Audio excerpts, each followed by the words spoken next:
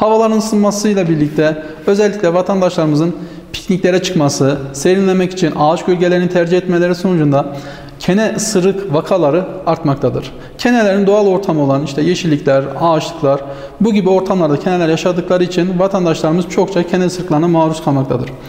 Kene ısırmaları vakalarında vatandaşlarımızın yapması gereken birkaç uygulama var. Özellikle keneyi çıplak elle çıkarmamak çok önemli.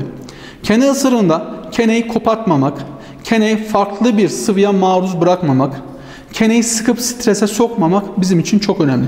Kene sıkılırsa, strese girerse kenenin içinde var olan enfeksiyonlar ısırılan kişinin vücuduna dolaşmaya girerek burada hastalık yapacaktır.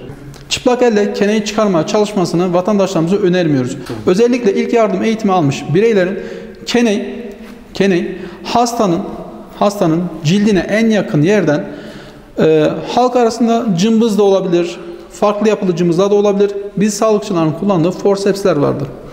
Bu cımbız yardımıyla kenenin vücuda girdiği en yakın yerden keneyi kavrayarak keneyi sıkmadan tek bir hareketle yavaşça çıkartmamız gerekiyor. Keneyi sıkmamamız gerekiyor, keneyi parçalamamız gerekiyor ve keneyi tek parça halinde çıkartmamız gerekiyor. Vatandaşlarımız özellikle buna dikkat etmesi gerekiyor. İlk yardım eğitimi almış bir bireyin bu uygulama yapması gerekiyor. Bunun dışında ki vatandaşlarımız bu uygulamayı yapmamasını öneriyoruz.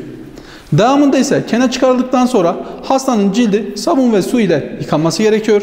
Herhangi bir enfeksiyona karşı hastanın en yakın sağlık kuruluşuna müracaat edip gerekli tetkikleri vermesini öneriyoruz.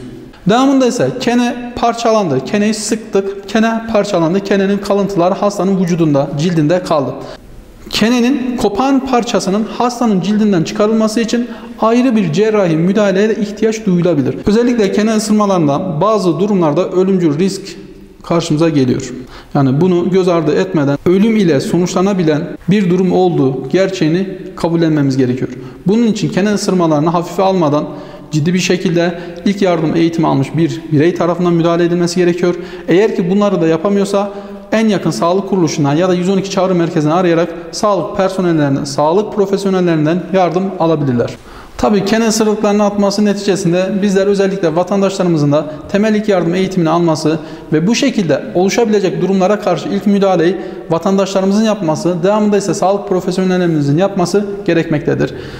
Son olarak vatandaşlarımızın ilk yardım eğitimi almasını öneriyoruz. Çünkü e, toplumda kenenin kimi ısıracağı, nerede ortaya çıkabileceği, ne tür vakalar karşımıza çıkabileceği belli değil. Her an karşımıza gelebileceğinden dolayı vatandaşlarımızın temel ilk yardım eğitimine önem vermelerini istiyoruz.